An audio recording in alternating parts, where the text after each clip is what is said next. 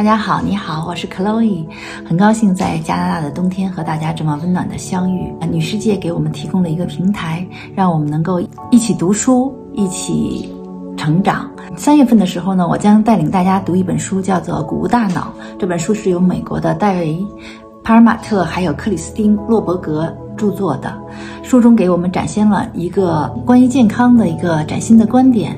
这本书取得了什么样的成绩呢？我先给大家介绍一下，它曾经八十周在 Amazon 上作为健康类书籍一直是排在第一名。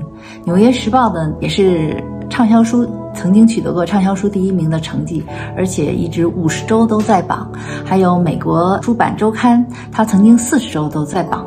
所以呢，这本书的成就呢，大家都能够从这些数字中看到了。当然，最重要的是书中给我们展现的一个新的健康饮食的观点呢，也是我以前没有听说过的。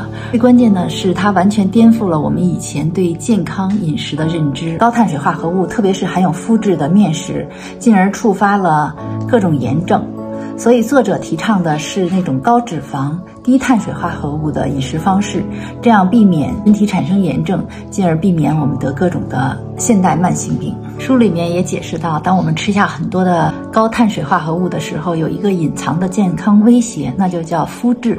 最新的科学研究表明呢，麸质是很多病的罪魁祸首，也不仅限于痴呆症，还有癫痫、头痛。抑郁症、精神分裂症，还有注意力缺陷啊、多动障碍啊，等等。所以呢，作者建议。我们不应该多吃主食少吃肉，而是应该恰恰相反，减少膳食中碳水化合物的比例，也就是说增加健康肉类和蔬菜的比例，而不应该是我们平时经常谈到的要多吃主食、健康的主食。好了，介绍着一些大概呃书里所谈到主主要观点，嗯，我觉得已经颠覆了我们很多的认知，所以呢，这也引起了我很大的好奇心。当我捧读这本书的时候呢，也是想让大家呃更多的了解一些知识，然后结合自己的身体的具体情况呢，来为自己制定一份呃健康的饮食计划。好，让我们来听一小段樊登来介绍这本书的片段吧。这个原因是来自于你吃了更多的含有麸质的，就是。那个咱们说麸子，对吧？就吃的那个麸子，含有麸质的一些食品，这些食品会严重的损伤到你的大脑，然后让你得各种各样的疾病。那他建议吃什么呢？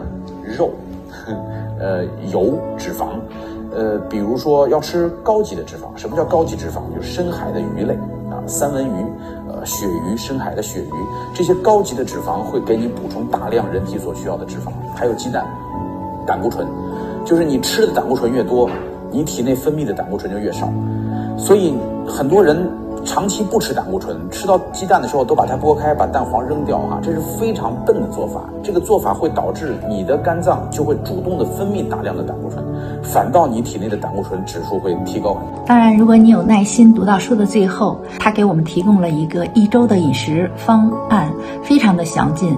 每天早餐、午餐和晚餐吃什么？这是一周的方案。当然，我们可以呃重复几次做，然后看看是不是适应我们自己每个人的身体，也看看有我们的身体健康有什么呃明显的改善。后面还有一些菜谱。我是一个不太会做饭的人，但是呢，我想屏幕前的你们可能看到这些菜谱呢，都能够做出。对应的美食，所以呢，让我们一起坐下来读这本书，然后应用到我们的日常生活中，为我们的健康改善能够提供帮助。谢谢。